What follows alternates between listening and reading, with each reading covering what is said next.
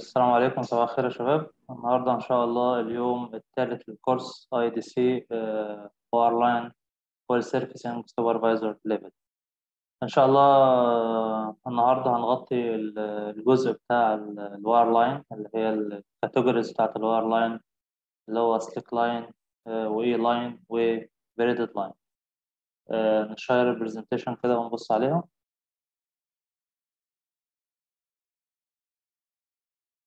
دي ال presentation اللي تخص ال wireline طبعا ولو اتكلمنا ال wireline ال wireline ده كلمة عامة فيها categories موجودة تحتيها وال course بندرس آه، كل section على حدة.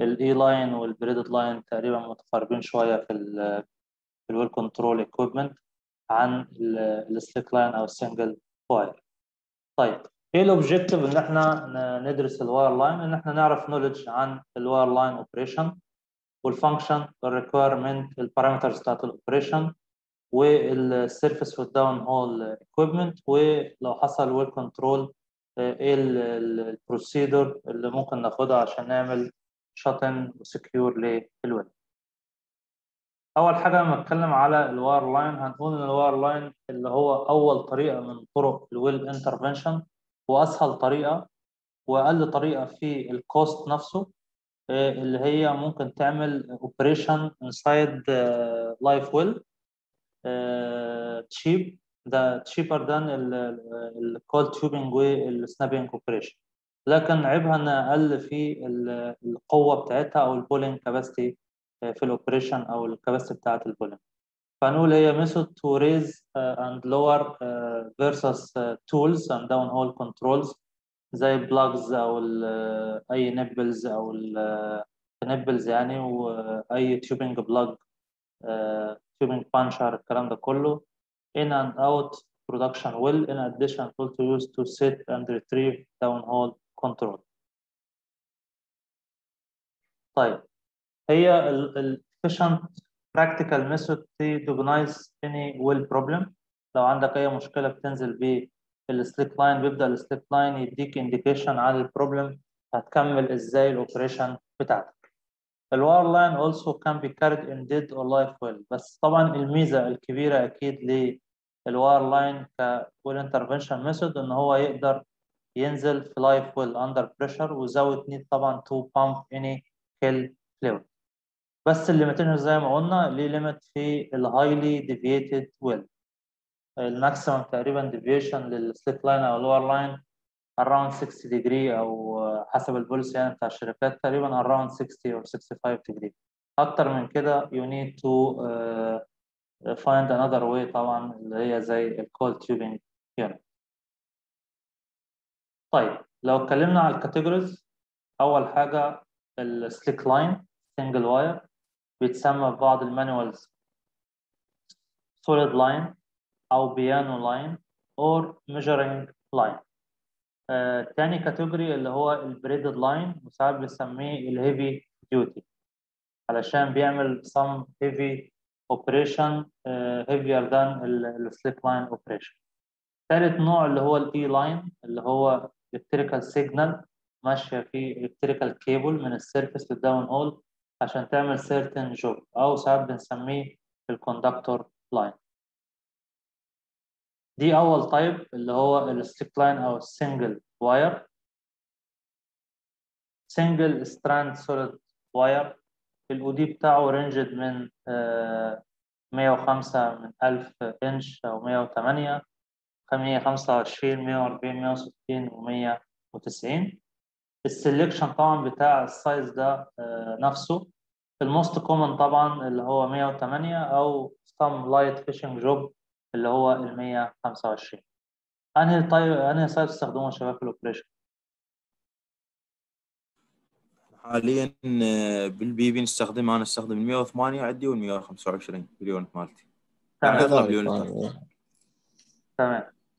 بيبقوا الاثنين موجودين على نفس ال- ال truck يعني؟ اي اي موجود اثنيناتهم الاثنين موجودين على نفس ال truck تمام. فبيقول لك ال selection بتاع ال wire size نفسه واقف على ال types بتاعت ال job انت هتعمل إيه بالظبط؟ down hole ال severity عايز force قد إيه to set or pull any down hole equipment أو tool. وال size نفسه بتاع ال tubing small size دايما بتستخدم معاه smaller assembly أو smaller wire easy to work and recover. طيب. كل حاجة ليها advantage وليها application إيه ال applications يا شباب؟ مثلا for example لل slickline؟ تعمل drifting لل new tubing أو ال production string وال casing string تنزل بيه drift ات أو تنزل بيه جيش كتر ريموفال اوف ويل اوبستراكشن لو في sand أو scale setting and pulling down hole plugs سواء nipple plug أو tubing plug تستخدموا ال tubing plug يا شباب مش كده؟ اللي آه، ال plug ات بشكل عام مو؟ لا ال plug ة اللي مش بت set في nipple اللي بت set على ال wall بتاعت ال pipe نفسه. بيك سين plug بيك سين plug نستخدمها هو ليها آه يعني كانت Halliburton مثلا كنا بنستخدم واحدة اسمها Monolock plug اللي هو بت set ب timer. مش عارف لا إحنا عندنا بيك سين plug ت set مو ب nipple هاي تنزل وبيها مثل ال rubber آه آه، تدخل ببطن pipe بأي مكان بال- بال tubing يعني مو شرط الا nipple ما عدا ال tool joint يعني تقريبا أي. تمام. بتاخد drift الأول indication وبعدين تيجي ت set ها في نص ال pipe بس. أنتوا بت set وها mechanical مش كده؟ أي ميكانيكالي النوع اللي كان بتاع Halliburton اللي كنا شغالين بيه في ارامكو كان آه، ب timer يعني بت set timer على ال surface مثلا ساعتين وفي battery معاه وبينزل بال بال plug ة لحد ال setting depth وبيستنى الوقت فال timers بيبدأ يعمل زي charging زي chamber كده من الغاز فيبدأ يفتح يعمل activate لل plug ه نفسها وي set ها كده بت set by timer يعني.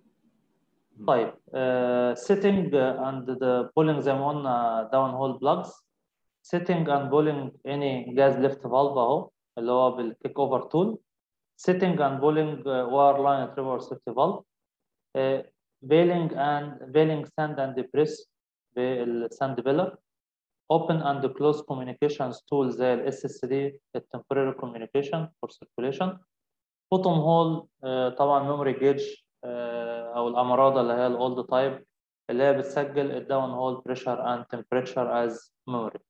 وعندك mechanical tubing perforation لو ما كانش طبعا بيشتغل بال E-line اللي هو ال E perforation اللي هو بيعمل 4 holes في ال tubing نفسها عند certain depths.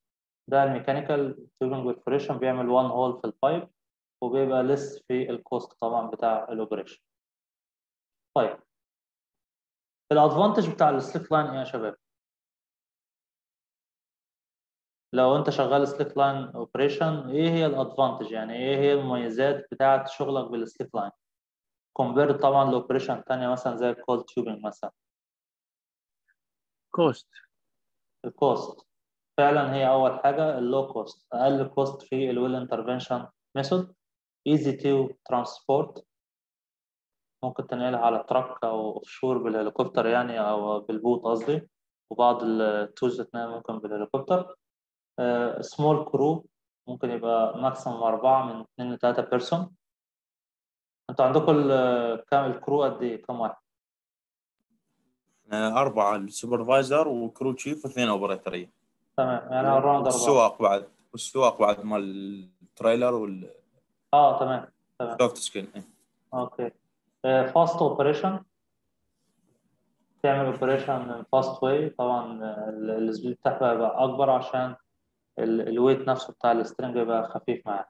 زي ما ليها advantage أكيد ليها disadvantage ال disadvantage طبعا اللي هي ال weak point بتاعتك اللي هي ال low wire strength مش هتبقى زي ال coil tubing مثلا في ال pulling أو ال rig ال lack of rotation ما تعرفش تعمل rotation compared بال coil tubing ال coil tubing ما بتلفش بس ممكن تنزل في ال bottom بتاع ال coil tubing motor assembly مع ال pumping ال motor يلفف لك ال bottom hole assembly تقدر تعمل rotation على ال bottom وطبعا ما فيش circulation فبيديك limit شوية لو أنت بتعمل fishing operation لو أنت عايز ت circulate على top fish ولا حاجة آه، عشان تريموف ديبريس أو كده ما بتقدرش تعمل clean out فعشان كده هي limited شوية في ال circulation وال rotation compared بال coil tubing أو ال snubbing operation أو ال workover rig limit high angle well زي ما قلنا over 60 دي بيبقى في limitation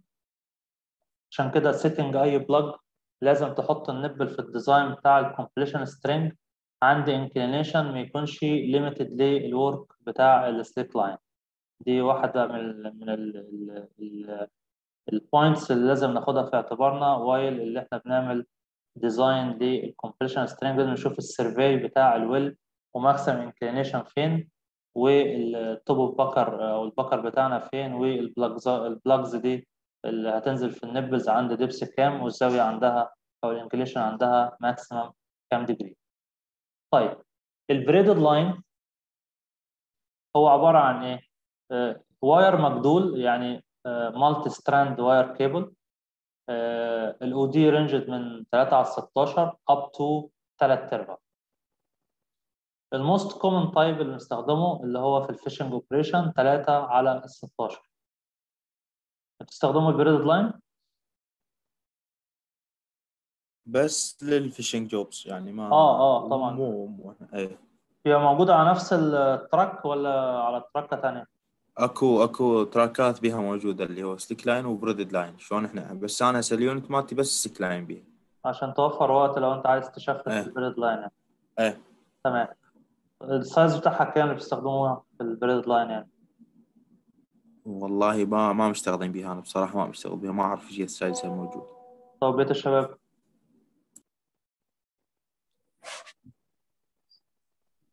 حتى أنا والله ما بصراحة ما بشتغل بشتغل بيه بال بالبريد لاين ليه؟ ما مشتغلين لاين أوكي. الموست كومن يعني هي 3 على 16 ولو في heavy heavy job يعني تبقى 5 على 16 أو آه، ربع يعني. ربع أو 5 على 16 طيب ال wire برضه selection depend on على ال severity بتاعه ال load اللي محتاجه ال over pull أنت متوقع إيه؟ عند depth كام؟ ال conditions بتاعت ال well ال deviation كل الكلام ده بي- بيحدد لك ال braided line size اللي أنت محتاجه كام عشان كل ما تزود ال size كل ما تاخد more over pull و strength لل operation uh, larger uh, size used.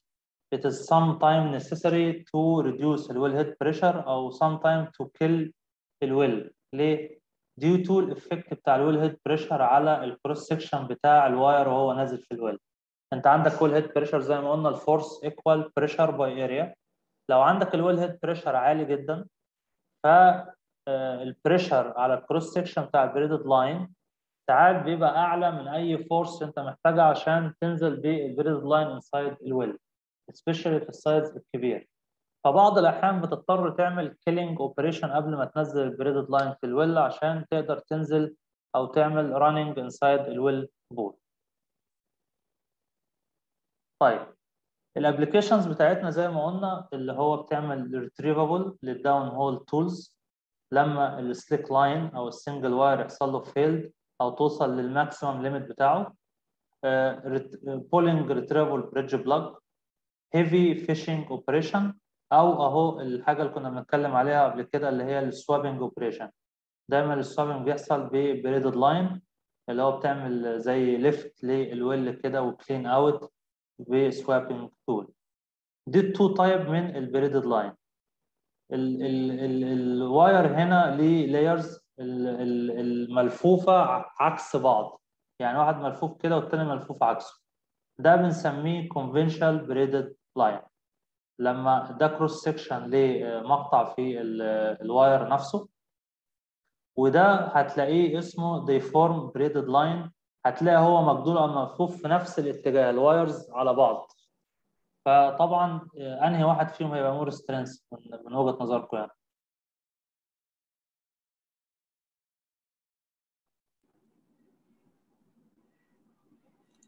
اللي ملفوف آه، عكس لا اللي هيبقى ملفوف فوق بعض هيبقى more strength عن اللي ملفوف عكس بعض. ليه؟ لأنه ده هيبقى فيه شوية هنا يعني فراغات ما بين ال ال ال wire اللي هو مجدول عكس بعض يعني فدول type أهو هيقول لك هنا ال advantage بتاعة ال deform braided line over ال conventional line are إيه ال advantage؟ بيديك increase في أو more strong نتيجة ال design بتاعه ان breaking load اللي هو ال maximum pull بتاعه. low twist tendency because of deform process. و smooth external profile وكمان ال clearance ما بين ال two wire نفسها بيبقى قليل جدا فده بيساعد إن هو reduce ال leakage الفراغ اللي ما بين الشكل المجدول في ال conventional عكس بعض بيخلي ممكن يحصل leakage لل grease head لما تيجي تعمل injection لل grease head عشان ال sealing ممكن يحصل ال outside diameter يحصل reduce طبعا ده بيقلل reduce ال leakage at grease head وال wire معدي وانت بتبامب الجريس اراوند الجريس هيد كبرايمري بارير وده هنشوفها قدام شوية في ال pressure control equipment بتاعت ال braided line كمان حاجة اللي هو high crush resistance crush resistance because of increased in steel content of the cable. بيديك مقاومة أكتر ليه إن هو يحصل له damage يعني. ف for example مثلا لو كيبل عندنا الوزن بتاعه 3 على 16 انش هتلاقي لو هو conventional type الوزن بتاعه لكل 1000 قدم 71 pound لكن شوف بقى ال deform هيبقى كام؟ هيبقى 85 عشان كده هو more heavy في ال weight بتاعه ف more strength و more strong in operation طيب.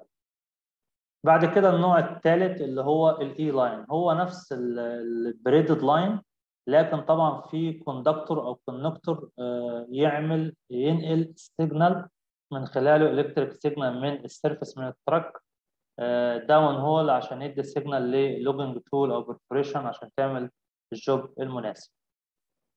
فهنقول اللي هي نفس التعريف multi strand wire cable هتلاقي ال range ات 3 على 16 لحد 3 أرباع. بس في single mono electrical conductors أو ساعات بيبقى multiple electrical conductor حسب ال job ده مثلا cross section ل أهو conductor هنا كيبل بين ال power through ال cable من ال surface ال down hole ده mono واحد بس ده multi conductor cable حسب ال supply power اللي انت عايز تنقله وال job type ويبقى طبعا ليه cover من بره مغطي ال wire نفسه أو الكيبل نفسه. provide بقى الميزة بتاعته إن هو بيديك real time communication أي حاجة بتحصل في ال down hole instant way بتعرفها على طول على ال surface ال most طبعا expensive wireline type اللي هو ال E-line هو أكتر أعلى cost طبعا. ال applications بتاعته زي ما قلنا هتلاقيها نستخدمه في ال logging surface read out اختصار surface read out real time يعني pressure and temperature recording أو بتعمل بيه logs في ال open hole وال cased hole ممكن تستخدمه في ال coring عشان تجيب sample من ال formation down hole setting لل packers زي ما قلنا ممكن ال packer ال permanent packer ينزل في الأول على E-line يت set بال electric way أو plugs زي ال bridge plug بيستخدم في ال perforation وفي نوع جديد اسمه fiber optics أو digital slickline ده بيبقى light wireline يعني وبيدي وبيعمل transmit برضه لل signal through طيب دلوقتي عرفنا ال types بتاعت ال wireline أو ال category هنشوف ال material اللي أنا ببدأ أختار ال wireline على أساسها. فبيقول لك في أول نوع من ال material زي زي ال tubing برضه بيبقى carbon steel طبعا ال carbon steel ده مش مناسب للآبار اللي فيها sour gas أو H2S أو CO فهتلاقي ال carbon steel ده و according لل API اللي هي ال API 9A دي مسؤولة عن لو حبيت تعمل search عليها مسؤولة عن ال selection بتاع ال wire نفسه وال material بتاعتها. فحصل improved لل steel بتاعته.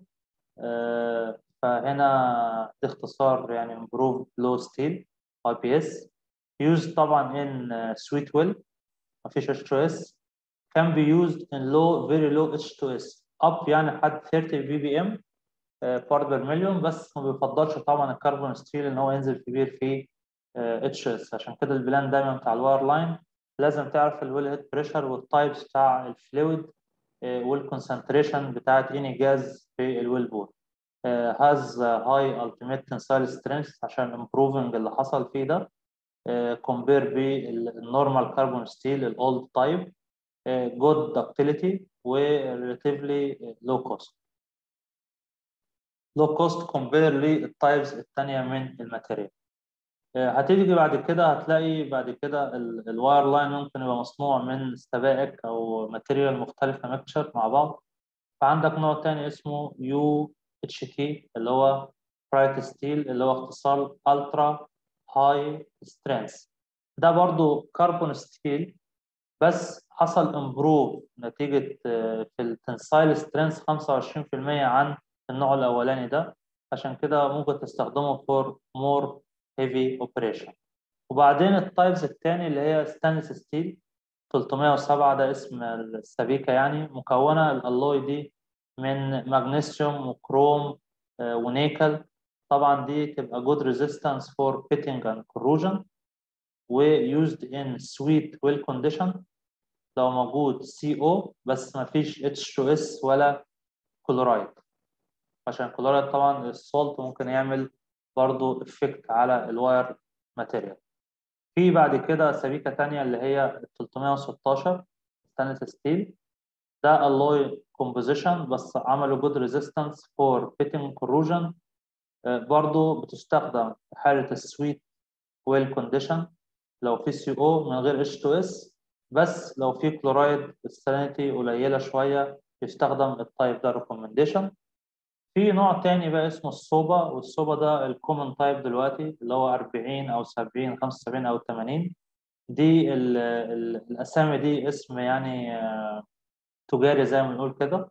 السبيكة دي stainless steel بس متضاف عليها material مخلية لك ال operation أو ال types ده ممكن تستخدمه في operation فيها extreme sour gas and oil well condition زي موجود H2S CO2 وكمان موجود الكلورايد نفسه.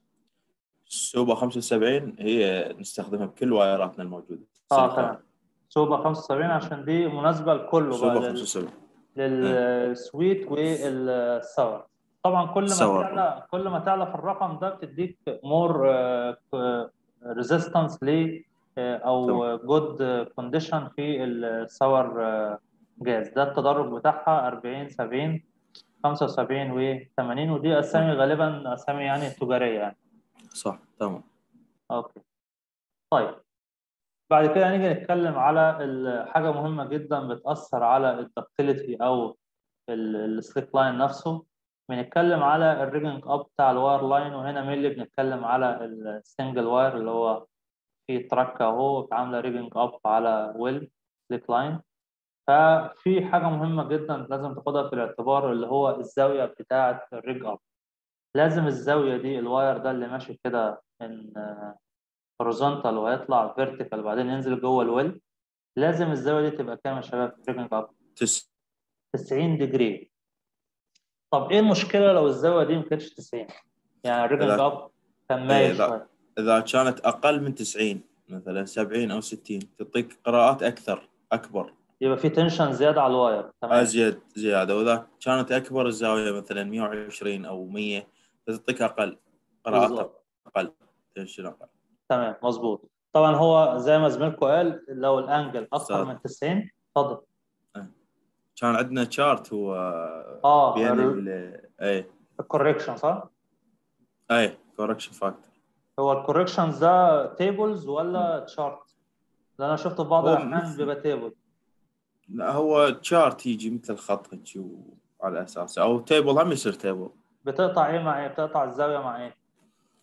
مع الزاوية مع ويا ال- الزاوية كان ويا ويا ويا الرقم يعني والله ما أتذكر بالضبط تمام وتضرب. ال factor ده في ال في ال في ال weight صح؟ يديك إيه إذا. طلع لي واحد إذا طلعت القيمة واحد معناته 90 تعطيك قراءة صحيحة مم. إذا أقل من واحد أو point 9 أو point 8 هيك كذا تعطيك إذا 1.1 هاي أكثر اللي الزاويه هي زاويه زاويه أكتر أقل من 90 يعني لو أكتر يعني إيه تمام مظبوط إيه.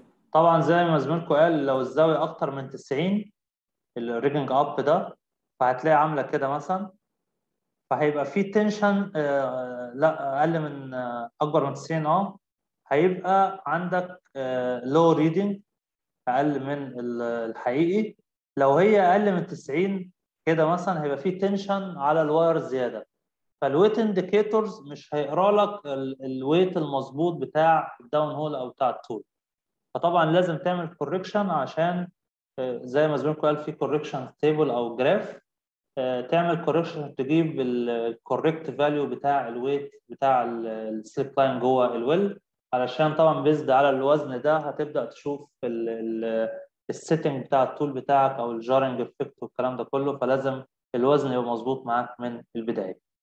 طيب إيه اللي بيحصل هنا يا شباب؟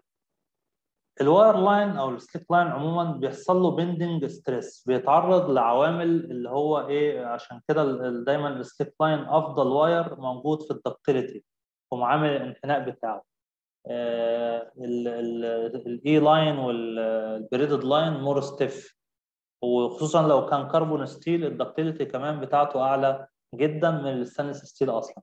ال stainless steel بيبقى more stiff شوية عشان مصنوع من من كذا material ليها بتكون ال alloy أو السبيكة نفسها بتاعة ال material بتاع ال slickline فهتيجي نشوف إن ال wireline هنا أو ال slickline بيتعرض لعملية bending وبعدين straight again والعملية دي بتتكرر بتخلي يحصل إيه مع الوقت؟ يحصل effect على ال OD بتاعة ال wire نفسه فيتعرض لحاجة اسمها fatigue أو إجهاد وممكن ده under tension يؤدي ل cut لل wire نفسه أو damage لل slickline. طيب وانت نازل run in hole دي ال- النقط اللي بيتعرض فيها ال slickline لل bending stress وال bending stress ده أكبر عامل من العوامل اللي ممكن تأثر على ال life بتاع أو ال fatigue بتاعة ال slickline طبعا إحنا مش هينفع نمنع ال bending stress دي إن هي جزء من ال operation normal لكن بنعمل شوية procedures أو شوية steps بتحاول ت minimize أو تقلل ال effect بتاع ال bending stress to the minimum فبيقول لك for each trip in and out يعني round trip ال line نفسه بيتعرض ل minimum 14 bending point بص عليهم كده دي اتجاه واحد وبيحصل بالعكس while pulling out وهو على ال drum بيتعرض لأول اتفضل. حبيبي. أستاذ إحنا اللي أنا فاهمه إنه هي هذا ال bending بالحالة العادية إذا عندنا مثلا simple jobs drift SGS راح يصير عندنا سبعة bending بس حسب الموجودات بالصورة بس while jarring إذا كان عندنا jarring آه. jarring event يصير عندنا 14 bending باعتبار الضربة impact عليها. مثل الصدمة راح يصير. إيه. يعني تقصد آه، وانت run in hole في سبعة bending اهم إيه while while jarring 14 بتحسب إنه في effect زياده على إيه. ال wire نفسه. إيه إيه هذا حسب ال school مالتنا اللي اخذناه Okay تمام. أنا هنا بتكلم إن هو operation عادية فأنت إيه وأنت نازل أو طالع من ال well. regarding يعني ال type بتاع ال operation فأنت. نازل كده في bending هنا وبعدين بيجي في ال area دي اللي هو عند ال depth counter ده بيعدي من خلاله بيحصل bending اثنين وثلاثه هنا. وبعدين بيجي عند ال- hay pulley.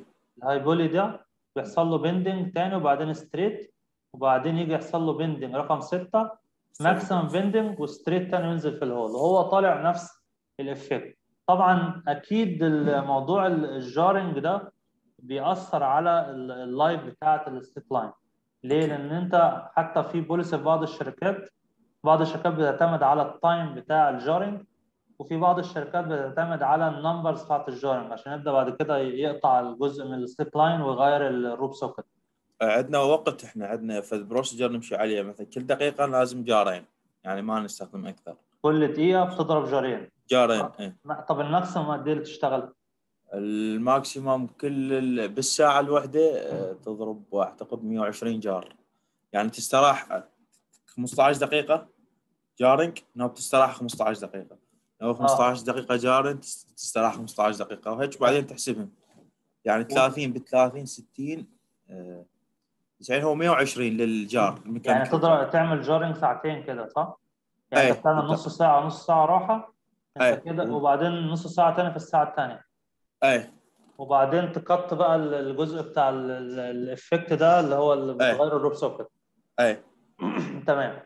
انت كده بتعتمد بقى على ال time في نفس الوقت وال number كمان بتاعت ال jarring لأنه اعتمادك على ال time بس مش effective لأنه أنت ممكن في ساعة واحدة تضرب 100 jar مثلا. فال time لوحده مش لازم تحسب ال number صح. بتاعت ال jarring نفسها أكيد أكيد ده ال type بتاعت ال jar ده إيه؟ mechanical ولا إيه؟ mechanical وبالنسبه لل hydraulic spring jar يصير أكثر spring يعني بتضرب numbers أقل تقصد ولا إيه؟ آه والله ما أدري الولد فهد تتذكر هاي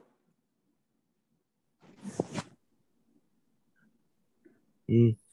إيش قد السبرينج جار كان يمكن 120 وال 180 أتذكر هيك شيء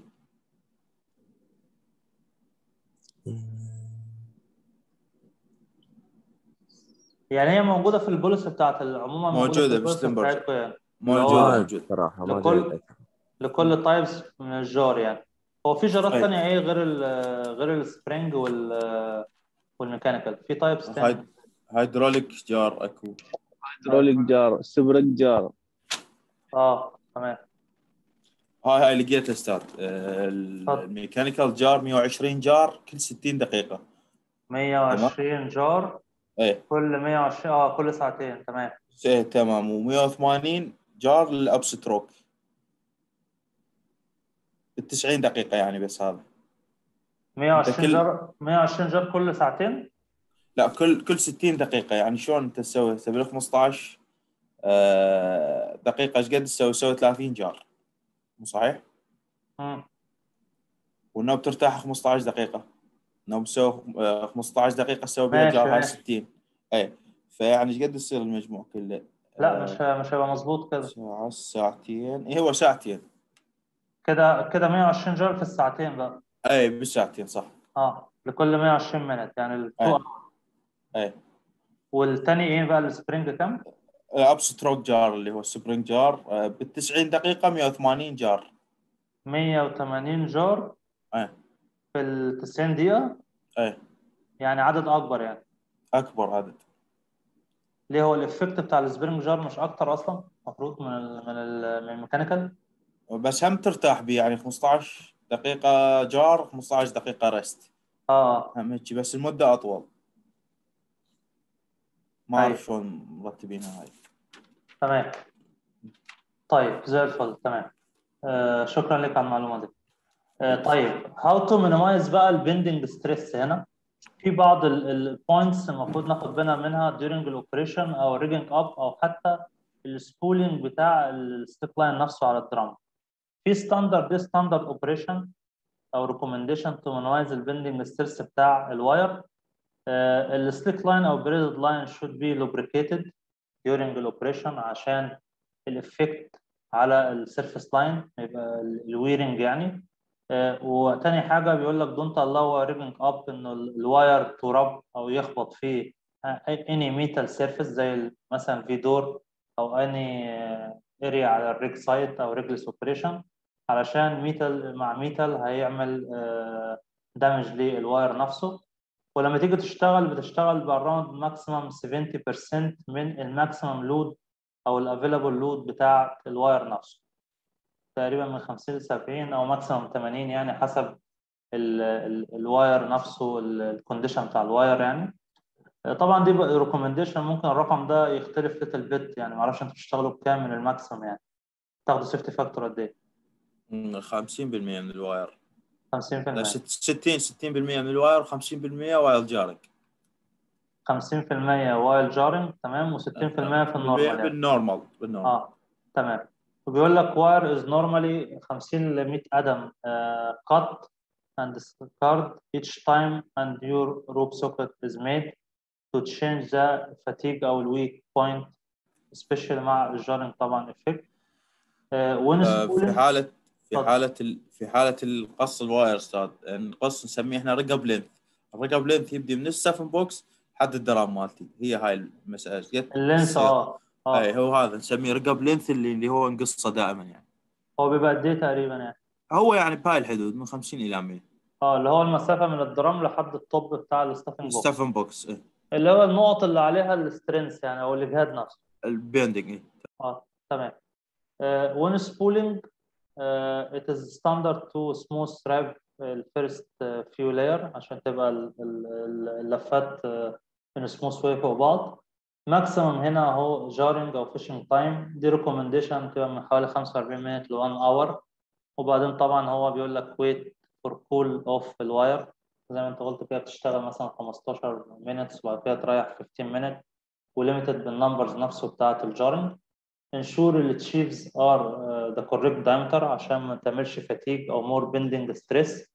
لازم تختار ال correct diameter المناسب لل size بتاع ال wire for example هنا for slick line ال minimum uh, diameter بتبقى 120 مرة في ال OD بتاعة ال slickline أو ال wireline من 100 ل 120 يعني. آه، في ال braided line بيبقى ال minimum 64 مرة في ال OD بتاعة ال wire بت apply ال recommendation دي؟ أي هاي موجودة عندنا عندنا بال slickline 120 في ال OD نطلع مقدار sheave. ال diameter مال ال sheave اللي نشتغل على أساسه. تمام. والتاني 64 طبعا دي ال minimum ممكن تزود عنها ده ال minimum requirement لو قللت عن كده هيحصل طبعا more bending وال slickline أو ال wireline معدي على ال sheave نفسها ال up أو ال down يعني. ensure طبعا ال sheave groove نفسها لازم تت check عليها إن هي rotate freely طبعا آه، وما فيهاش أي worn أو أي damage عشان لو فيها الكلام ده هيبدأ يعمل scratch أو damage لل surface بتاع ال slickline طيب هنا بقى القصة بتاعت ال handling وال spooling بتاعت ال drum بيقول لك the following precaution should be taken when handling ال wire avoid uh, nicking ال wire نفسه. ما تقعدش تخبط فيه يعني عشان ما يحصلوش damage to avoid abrasion ال wire should not be run uh, or contact any metal surface. wire in storage لما لازم يحصل له طبعا regular inspection و protection لازم يتغطى عشان ال surface corrosion correct procedure في ال spooling هنا لازم يبقى بالشكل ده. يا إما آه، من up ل up أو down to down يعني. ما ينفعش يحصل from up to down أو from down to top يعني. from bottom to top أو top to bottom لازم يحصل from top to top أو bottom to bottom عشان يمينيمايز البندنج أو الافكت أو الفاتيج بتاع السليب لاين نفسه. طبعا هنا بيقول لك بيحصل lubrication لل wire to uh, protect against corrosive after completing ال- ال job نفسه وبترجع الحاجة لل workshop يعني.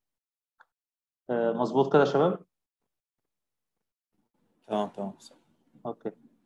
طيب إيه هي بقى ال well information وأنا ب plan for slickline job أو braided job محتاج أعرف شوية معلومات عن ال well نفسه قبل ما أروح لل operation regardless فمحتاج مبدئيا أشوف إيه هو ال wellhead connection وال size عشان ال Acme thread اللي هيركب فوق ال Christmas tree تجيبه بال correct size بتاعه. ال wellhead rated working pressure عشان ال equipment formation pressure and temperature well depth هتنزل ال depth كام؟ ال interval بتاعت ال perforation types بتاعت ال job ال wellbore survey عشان ماكسيمم انكلينيشن الفلويد ليفل والتايبس بتاعت الليفل الفلويد نفسه. ال annulus fluid اللي موجود عشان لو تفتح SSD لازم زي ما قلنا نحسب حسابات إنه يحصل balance لل pressure على ال port بتاعة ال SSD before opening لازم تعرف ال subsurface safety valve ال surface control subsurface valve ال integrity بتاعته عاملة إزاي عشان to make sure إن هو in open way fully during ال operation ال gas oil ratio قد إيه؟ هل أنت شغال في sweet أو sour gas environment عشان ال selection بتاع ال type بتاع ال material نفسه وال downhole tool أو ال packing element كمان بتاعت ال plug ات اللي بتختارها لازم تبقى آه، طبعا according to اللي هو NACE أو ال- المنظمة بتاعت ال corrosion يعني. ال types بتاعت ال completion string هل هو single ولا dual وال component بتاعته عشان تعرف ال minimum restriction وال depth ات بتاعت طبعا ال nipples وال SSD. ال location بتاع ال well مهم طبعا عشان تعرف هتاخد ال equipment تتحرك بيها قد إيه في الطريق وال- والمسافة والكلام ده كله وال crew. ال history طبعا related لأي downhole problem كانت موجودة قبل كده في ال well. لو كان في مثلا accumulation من ال sand history بتسجلها ال well دايما لازم تبقى عندك data عشان ال area الحتة دي مهمة. عشان تاخد backup tool معاك just for حاجة بنسميها contingency procedure أو plan B لو حصل مشاكل معينة يبقى معاك tool ما تخسرش وقت زيادة علشان تحضر ال another plan طيب. بعد كده نتكلم على ال wireline equipment عموما. عندك surface equipment اللي هي ال wireline unit ال power pack اللي بتديك ال supply بتاع ال power لل system وعندك ال hoisting unit اللي هو معظم الأحيان بيبقى ال crane يعني لو ما فيش rig. وبعد كده عندك ال pressure control equipment دي من زيها ال quick union stuffing box أو grease injection head في حالة ال braided line lubricators enough length وال BOP وال tree adapter above ال wellhead في بعد كده ال subsurface equipment طبعا دي آه، حسب ال operation بتاعتك. ال tool string service tool conditioning tool running و pulling tool for each run عندك optional pressure control equipment زي ال tool trap أو ال tool catcher injection sub عشان تضخ بعض ال lubricant أو anti freezing chemical ال SCU و pumping T safety quick union يعني دي اختصارها هنشوفها قدام شوية. ال tool ممكن تبقى shifting tool kick over tool for setting and running any device في ال gas lift mandrel overshot for fishing أو ال spear internal و flow control device زي ال types بتاعت ال plug دي E-line و slickline rigging up الشكل اللي على اليمين ده ال slickline عندك top sheave وعندك stuffing box اللي هو primary barrier وبعد كده عندك ال head catcher وعندك chemical injection sub lubricators bleed off port هنا وبعد كده عندك quick test sub عشان تكسر منه ال connection above ال BOP عشان توفر ال test time بتاع ال pressure control equipment مع each run ال tool trap وبعد كده عندك BOP ممكن يبقى mechanical أو hydraulic و pump T sub دي for circulation أو for testing وبعد كده ال connector اللي ما بين ال wellhead أو Christmas tree وال slickline دي ال E-line اللي هو بيبقى pack off أو line wiper ال grease head نفس الكلام هيد كاتشر وكيميكال ولوبريكيتور وكويك تيست سب وبامب تي وهنا طبعا ال BOP اللي هو ال secondary barrier والحاله بتاعتنا دي ال tertiary barrier هنا هيبقى ال Christmas tree upper master valve لو equipped with cutter وهنا طبعا ال E-line ال tertiary هيبقى ال shear seal BOP the rigging up for slickline stuffing box primary barrier دي single BOP وال BOP طبعا بتاع ال slickline أو ال single wire هو عبارة عن secondary وال control barrier وعبارة عن blind ram. To seal around ال wire أو من غير wire طيب. هنتكلم عن ال surface equipment. ال wireline unit ممكن تبقى single or dual drum ممكن تبقى في container أو skid mounted boat أو helicopter unit حسب ال offshore application ال component بتاعتها بتبقى عبارة عن في control لل operation from inside ال direction في brake hydraulic valve و gauges measuring device عشان تقيس ال length weighting device عشان ال weight و level wind to adjust ال slickline ال power pack ده ممكن يبقى diesel or electrical power طبعا according to ال safety يعني zone 2 بيستخدم mainly اللي هو الديزل unit أو generator يعني to to run ال power pack استخدموا الديزل يا شباب مش كده؟ ديزل أستاذ صح. okay ال surface equipment اللي هي ال hoisting unit دي ممكن تبقى different shapes يعني. اللي هي ال crane هو ال most common type ولازم ال crane آه، طبعا يبقى certified crane و certified crane operator عندك type تاني زي ال mast أو ال A-frame أو ال- ال gin pole ده بس old type شوية. وعندك لو أنت بتعمل على ال rig يبقى هو ال- ال- ال rig أو ال TDS بتاع ال rig نفسه هو اللي بيعمل لك rigging up استخدموا ال types دي اللي هو ال A-frame أو ال mast ده. عندنا mast اثنين بالرومالية يشتغلون الباقي كله سي لاين crane ال A-frame ولا ال mast mast ال mast اللي هو ده مش كده. تمام.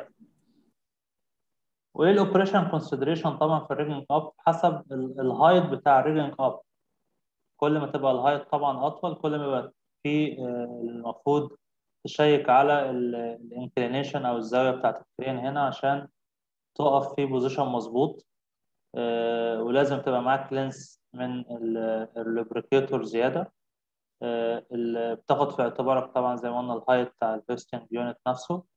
لو في fishing job لازم تكون طول ال lubricators نفسها including ال bottom hole assembly بتاع ال slickline plus لو عملت fishing ل any lost tool inside ال well طبعا وال tool بتاع ال tool string length نفسه.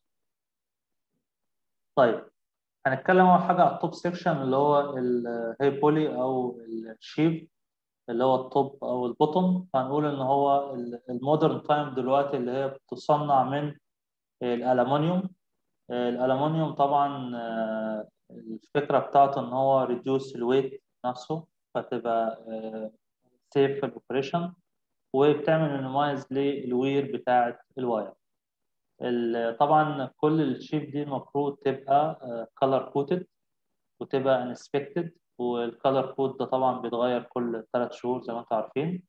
ولازم يبقى فيه tag على ال- أي lifting equipment زي ال slings أو ال shackles آه، ولازم تبقى عليها tag مبين لك last inspection وال expiry date بتاعه ال certification نفسها بال serial number اللي موجود وال maximum load اللي ممكن ت pull طبعا انت بتختار دايما آه، تقريبا ال lifting بتاعه ال sheave دي بتبقى two time ال weight اللي انت محتاجه during ال slickline مظبوط؟ تمام. طيب.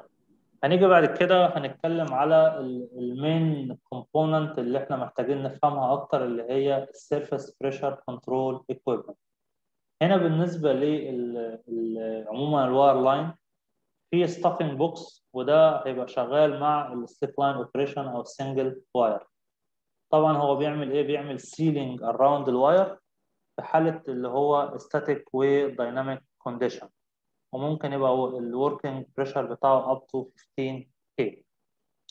في بعد كده ال wireline control head وده بيستخدم مع ال braided وال E-line بيبقى تقريبا زيه زي ال slickline stuffing box وفي grease injection head ده بيستخدم مع braided وال E-line وبيبقى آه، بتضخ فيه grease around ال braided line عشان يعمل seal أو effective seal around ال wire وطبعا بيبقى نفس ال grease ده بيتضخ through ال BOP برضه عشان هو المسؤول عن ال sealing لأنه ال braided line wire مجدول فممكن ال- ال gas ي escape أو ال oil فلازم تحقن grease ب high pressure around عشان تعمل sealing ده swabbing stuffing box هو نفسه زي ال stuffing box العادي بيستخدم في ال swabbing operation في ال low pressure مع ال braided line طبعا.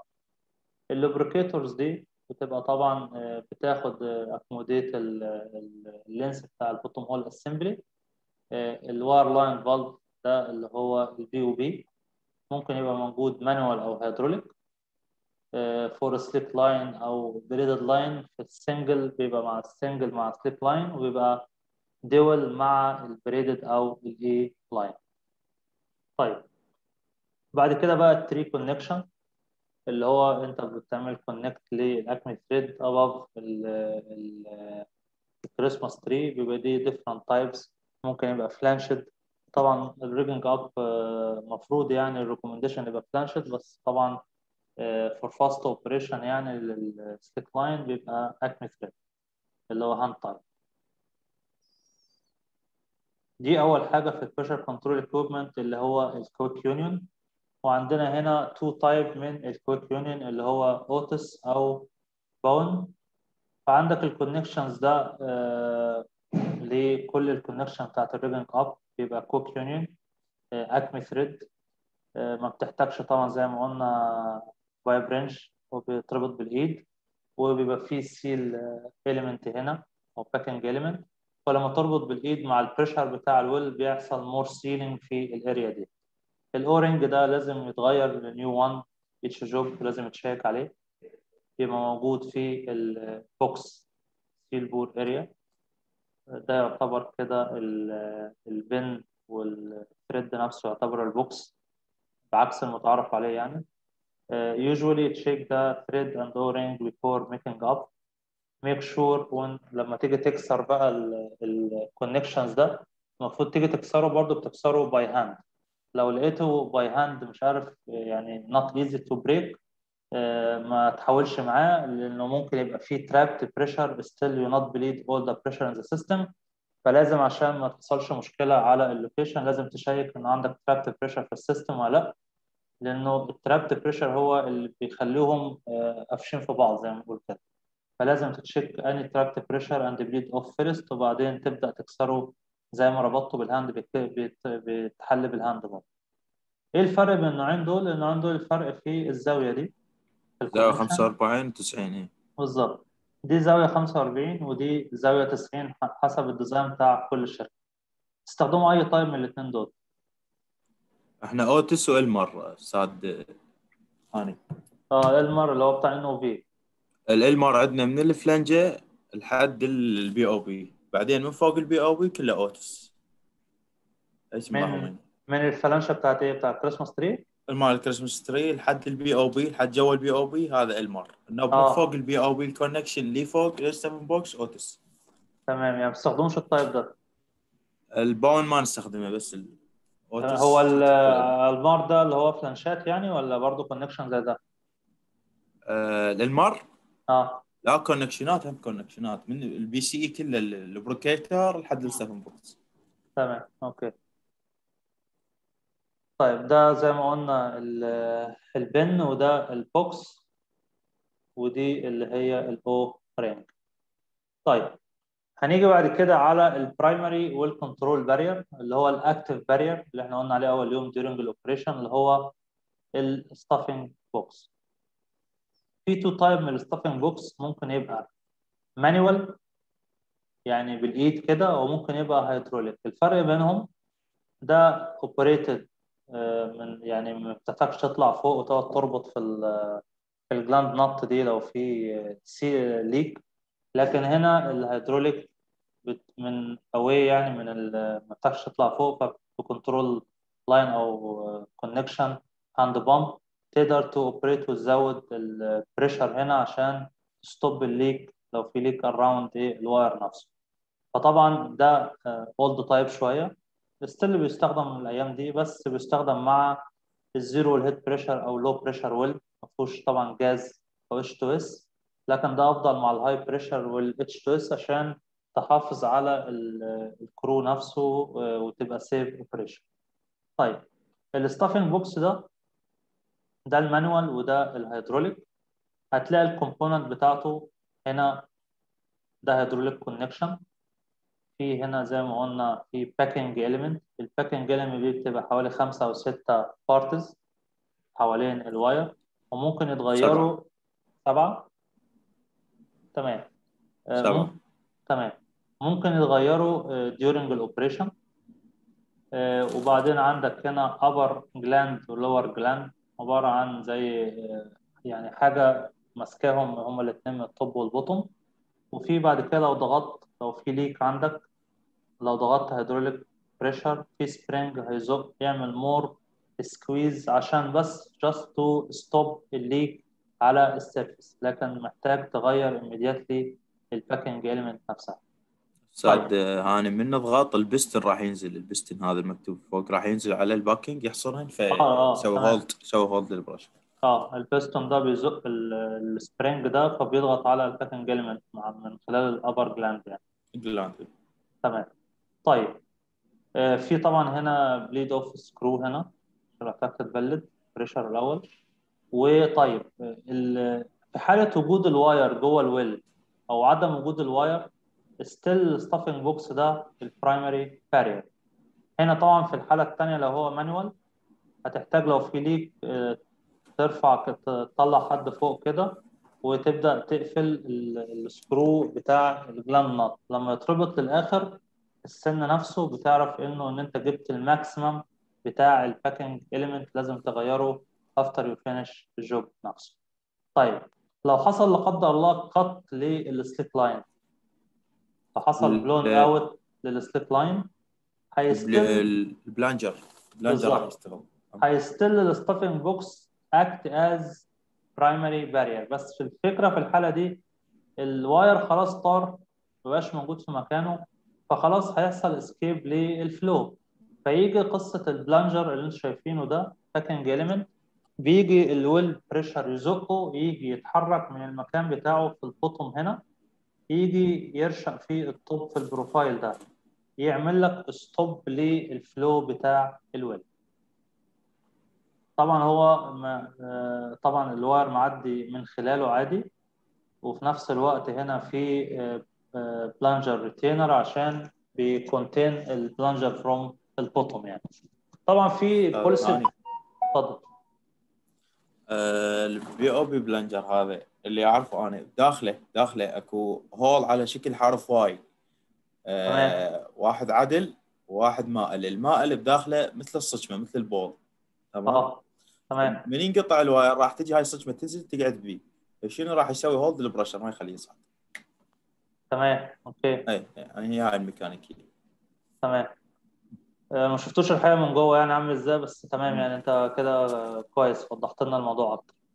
ال plunger ده آه، بيسموه ساعات inside BOP packing element يعني.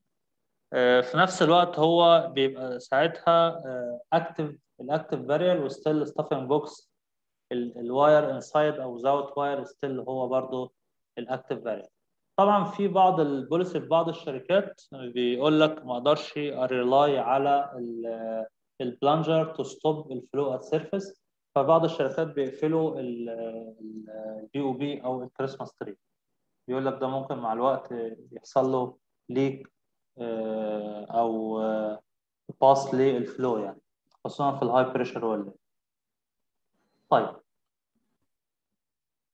هنا زي ما قلنا دي ال parts بتاعة ال packing element وزي ما زميلكم قال هم سبعة part معرفش هل هو standard السبعة دول ولا ممكن يختلفوا من design ل design يعني. والله ك standard صار عندنا إحنا سبعة نستخدم. سبعة packing parts يعني. parts اي تمام. طيب. زي ما قلنا كده ال function بتاعت ال stuffing box to allow entry ال wire inside ال well bore while sealing around ال diameter بتاع ال wire line preventing the escape of well bore fluid. ال manual زي ما قلنا non gas ما يستخدمش مع ال gas well في ال low very low pressure وأعتقد أنتوا ما بتستخدموش طبعا ال manual يعني معظم كل الشغل دلوقتي هيدروليك يعني. hydraulic hydraulic. ما عندنا أصلا manual تمام. sheave are available for wire line اللي هو في ال size ده up to 15000 psi دي ال recommendation إحنا قلنا عليها اللي هو ال sheave diameter إزاي بتختارها according لل size بتاعت ال wire فبيقول لك 16 inch for ال wire size دي for heavy duty بيستخدم 20 inch for ال size بتاعت ال wire line بتستخدموا sheave قد إيه؟ هو ال 16 16 لأنه wire اتنا من 108 و 125 108 لا 16 فبتغطي بتغطي ال range يعني. تمام. ال plunger ده بيسموه blow out plug prevent ال well flow when wire line is pulled out of rope socket and or break at surface يعني. In addition uh, an indication to time to repack يعني تغير ال packing element هو لما ال gland nut يبقى fully secured في مكانه لازم تعرف إنه ال packing element عايز يتغير. طيب. دي ال manual stuffing box هنيجي بعد كده نتكلم على ال grease injection head اشتغلتوا بيه قبل كده؟ لا والله ما بستخدم بيه أبد. هذا شغل wire line عندنا هو هو ال braided line آه part من من ال E-line أكيد يعني. يعني أنتوا لما أنتوا شغالين بس من ال slick line مش كده؟ بس slick line لو أنتوا عايزين تنقل من ال slick line لل braided line في crew تاني بقى ب unit تانية بيجوا يعملوا ال job يعني. لا قسم ثاني أصلا wire line. يختلف عن إحنا sub segment قلت لك يعني. آه okay. تمام إيه. تمام. طيب تمام. فال grease injection head أو اختارها اختصارها GIH دي ال primary well control بنشيل ال stuffing box خالص بتاع ال slick line وبنجيب ده مكانه في ال braided line هو عبارة عن إيه؟ عبارة عن ال system الموجود قدامنا ده complete rigging up أدي ال grease injection head بيتضخ فيه greasing من ال bottom وبتاخد ال return من ال top هنا وبعد كده عندك safety Q safety quick union ده زي ال plunger كده في ال slick line وبعد كده ال lubricator وعندك بقى ال dual BOP ال grease بيحصل إزاي؟ بيحصل ب high pumping أو twin pumping يبدا يضخ ال grease وال return بيرجع على ال contamination tank على tank تاني ومش reuse يعني ما بيستخدمش تاني حتى لو هو visually okay يعني. طيب ال system ده عبارة عن إيه؟ دي ال cross section بتاع ال area دي ال grease injection head عبارة عن ال wire اهو في ال well. في عندك flow tube الأحمر دي. ال numbers بتاعتها هنقولها دلوقتي depend على design معين. ال flow tube دي pipe عادي من جوه. وبعدين ال wire اهو المجدول بيعدي من خلالها.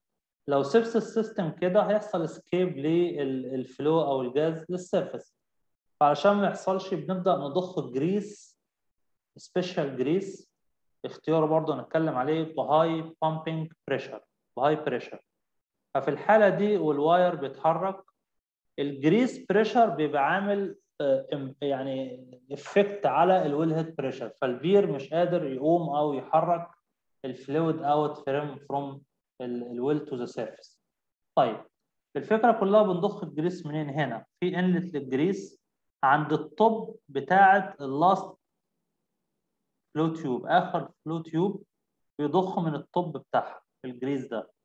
ال grease طبعا بيملى ال area دي كده مع ال gravity فبيبقى فيه زي spare area كده مليانة grease وبعدين بيطلع فوق يمشي في ال clearance ما بين ال wire نفسه وال flow tube ويجي عند ال top هنا يطلع من ال drain ده ويرجع تاني لل contamination tank طبعا طول ما انت شغال عمال ت pump all the way clean grease inside ال well continuous operation. تمام؟ طيب في عند ال top هنا في packing element هنا اهو وفي hydraulic inlet أو hydraulic connection إيه الغرض من دي؟ الغرض من هنا إن أنت لو زودت ال pressure في بعض الحالات لو حصل escape أو flow من ال grease injection head ممكن تحط hydraulic pressure just to stop the leak بس ما بيشتغلش as primary barrier ده حاجة مساعدة بس لل grease injection head أو في بعض الحالات ال element ده نفسه اللي حوالين ال wire بيعمل زي wiping كده و cleaning لل wire نفسه وهو طالع من البير out على ال drum إن هو ينظفه من أي grease around عشان لما يجي على ال drum يبقى little bit dry يعني. فبتتحرك دي up و down كده ال wire بيتحرك من خلالها فبتاخد ال grease ال excess مع ال drain ده وترجعه على ال contamination tank أو ال collecting tank على ال surface طبعا ال collecting tank اللي على ال surface ده بيبقى open لل atmospheric عشان ت monitor لو في أي oil أو أي gas escape فتعرف ال system بتاعك working okay ولا بي leak غاز لأن الغاز طبعا ليه tendency إن هو يعمل escaping من void صغيرة through ال wire المجدول لو ال greasing pumping ما كانش enough دي إيه؟ دي ال clearance هنا ما بين ال wire وال flow tube from inside بيبقى الرقمين دول دو minimum و maximum عشان تضخ من خلالهم ال grease واضح يا شباب؟ طيب. تمام. هنيجي نشوف كده ال selection بتاع ال flow tube. ال numbers بتاعت ال flow tube دي هختارها على أساس إيه؟ كم كم flow tube هحطها في ال rigging up فقال لك هو في آه، عشان تعمل effective sealing محتاج to install numbers from flow tube according لل wellhead pressure وال flow type ال fluid type بتاع ال well. لو هو ال wellhead pressure من 0 5000 و liquid يعني water أو oil يعني و mainly oil بتحط minimum requirement around 3 من ال flow tube كل ما يزيد ال pressure وخصوصا في الغاز هتلاقي ال numbers أكتر شوية علشان يعمل more effective لل sealing لو حطيت numbers أقل هتأثر على ال sealing بتاعه ال high pressure grease against ال well pressure أو ال wellhead pressure تاني ده شكل أوضح شوية. هنا أهو ال inlet طبعا في check valve على ال inlet هنا line وال grease بيمشي كده. ويجي يطلع من ال drain هنا يرجع على ال waste tank على atmospheric مفتوح لل surface ودي ال hydraulic hand pump اللي بتعمل more pressure لو حصل leakage على ال surface just to stop ال leak أو to control ال flow فبيقول لك below الستافنج بوكس are flow tube as seen in الفيجر ده grease is injected under pressure into the grease injection cooler effect sealing around the braided line and finally exit at the grease drain hose to the atmospheric pressure to the waste container. طبعا الجريس طبعا must be آه، يعني applicable ان هو آه، يبقى آه، مناسب ل لو في عندك concentration من ال H2S وال CO2 ولو عندك gas ratio ولو عندك high temperature عشان طبعا ال temperature بت affect على ال viscosity نفسها بتاعة ال grease. وفي بعض الحالات بيضخوا high viscous oil يعني. طيب ال grease ده ال recommendation بتاعه يتضخ في pressure قد إيه؟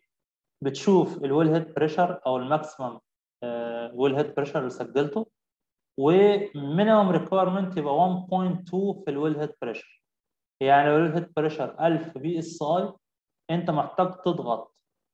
ال grease ده ب pressure 1200 psi فيبقى ال force دايما بتاعت ال grease منع ال escape بتاعت ال flow out من ال well. طيب ده إيه؟ ده ده ال pack off أو ال line wiper اللي هي ال top بتاع ال grease injection head أو located above grease injection head. وخصوصا ال pack off ده ساعات بيستخدم مع ال E-line لو مفيش wellhead pressure يعني primary barrier آه، ومن غير ساعات بيستخدموه من غير طبعا grease injection head لو مفيش wellhead pressure has hydraulic pack off to seal around stationary يعني في حالة السكون فقط تزود pressure in case of emergency or grease leak. فده ما يعتبرش primary barrier يعتبر عامل بس مساعد to stop the leak ال grease injection head it is sealed around ممكن نستخدمه مع ال low pressure أو ما فيش zero zero ال head pressure and is not considered لو استخدمت ال grease injection head as primary barrier. بس في بعض ال category في ال rigging up بتاع ال E-line electric line بيستخدم ال pack off as primary barrier. بيحصل إيه؟ ال hydraulic fluid push up ال piston squeezing ال packing element around الكيبل عشان to stop بس only leak at the surface. وفي حاجة تانية اسمها زي ما شفناها في ال figure اللي فات ده اللي هو ال line wiping اللي هي زي مساحة كده عند الطب بتاع الباك اوف بتوايب الإكسس كريس اللي هو حوالين ال cable to ال drain hose ده شكل تاني اهو ده cross section اهو. في wiper اهي هنا. rubber بتمسح ال grease من الكيبل وتضخها أو توديها بعيد هنا لل flow outlet هنا. دي الجزء ده ال section بتاع ال line wiper. وفي هنا ال injection بتاع ال hydraulic hand pump عشان يعمل squeeze حوالين ال wire نفسه to stop ال leak بيضغط على ال wiper دي فبتعمل seal حوالين ال braided line. طيب ال grease injection head ده شباب طبعا ال integrity بتاعته أو الكفاءة بتاعته متوقفة على في الاختيار على بعض العوامل. زي إيه؟ زي ال well head pressure. لازم أعرف ال stable أو ال stabilized well head pressure كام عشان أشوف ال grease injection head أضغطه بكام. طبعا في ناس ما بتستخدمش 1.2 ده ال minimum في ناس بتعلى عن كده عشان ما يحصلش لو حصل build up لل pressure for any reason أو قل فجأة ال pumping أو حصل مثلا الفلتر بتاع ال pump اتسد ولا حاجة فال pressure قل فيبقى still هو over ال minimum requirement متوقف كمان على ال ambient temperature في ال atmospheric لأنه ال grease viscosity بيتاثر بال temperature. ال well bore fluid نفسه. طبعا دايما ال sealing بيبقى يعني difficult شوية مع ال gas cap أو الجاز لو موجود على ال top بتاع ال well نفسه. ال compatibility بتاعت ال grease composition مع ال well fluid لازم تختار compatible grease composition ال line speed نفسه السرعة بيقول لك دايما هيبقى فيه difficulty لو انت بتتحرك ب high speed ان انت تعمل effective sealing around إيه ال braided line ال direction بتاع ال travel بيبقى أصعب شوية to maintain seal while pulling out عشان كده لو انت طالع pulling out بال braided line وبدأ ي leak معاك من ال first step تبدأ ت check على ال surface system وتحاول تبدأ تنزل run hole تاني. ال running hole ساعات جوه ال well بيساعد شوية على إنه reduce ال effect بتاع ال leak أو ال seal نفسه بتاع ال around ال wire. اختيار ال number of flow tube زي ما شفناها حسب ال table وال flow tube diameter لو اخترت diameter قليل جدا هيبقى عندك كمية كبيرة من ال grease في ال system. ولو اخترت ال flow tube دي ال diameter بتاعها في المسات كبير فكمية ال grease اللي بتضخها هتحتاج كمية excess كبيرة عشان تعمل ال effective sealing عشان كده المفروض ت follow ال optimum clearance طبعا لو حصل worn لل flow tube from inside عشان كده لازم ت check عليها في ال rigging up هيبدأ يحصل معاك effect في ال seal هتحتاج كمية أكبر. وممكن في الوقت ده لو أنت مش عارف تعمل control على ال operation هتضطر تقطع ال wire وتطلع بال out of hole من ال well علشان تغير change لل flow tube نفسها. لو حصل فيها worn أو damage طيب دي هي برضو grease injection head فبنقول هنا أهو greater quantity of grease will be used if the tolerance is too tight the cable will not run فلازم ال clearance يبقى مظبوط. ال wire diameter لو ال wire diameter كل ما تزيد ال OD بتاعه يبقى ال effective بتاع ال seal هيبقى أصعب شوية. الجري النمبرز بتاعت الانجكشن بوينت هو الانجكشن بوينت شفناها في ال figure اللي فات دي port واحدة. في بعض الحالات دي ال standard في بعض الحالات بيستخدم أكتر من injection port يعني بيبقى في تو بورت في الانجكشن ينجكت منها البريشر بتاع الجريس نفسه.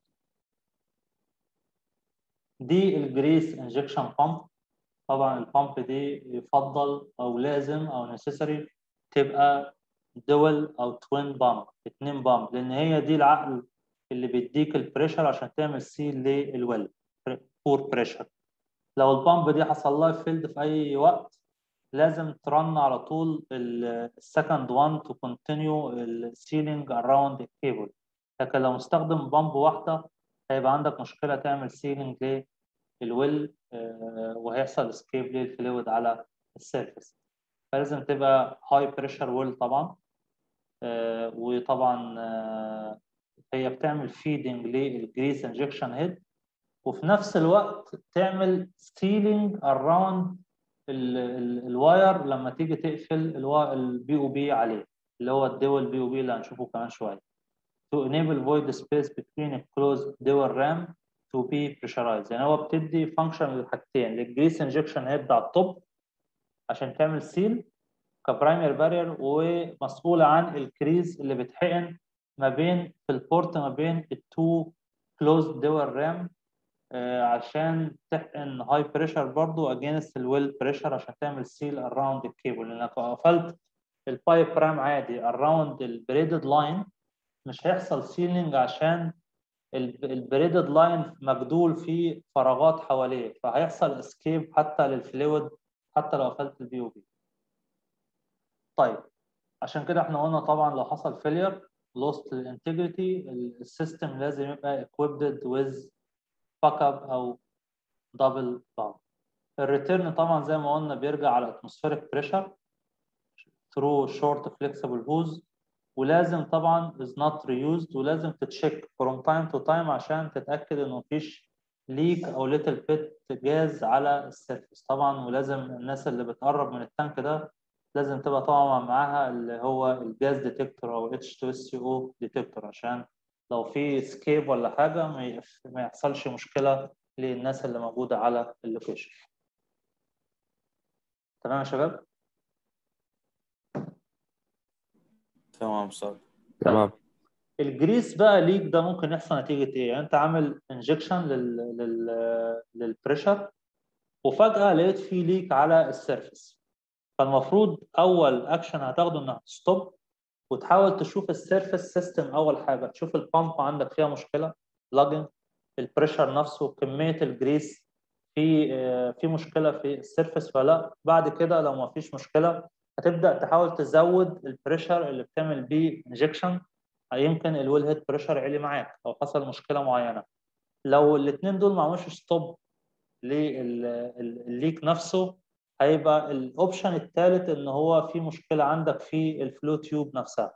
حصل worn فمهما تضخ من grease آه، هتضطر ساعتها إن أنت ممكن تعمل replacement لل contamination grease ده كله. بعد ما تقفل BOP تبدأ ت circulate grease جديد حوالين ال flow tube كلها.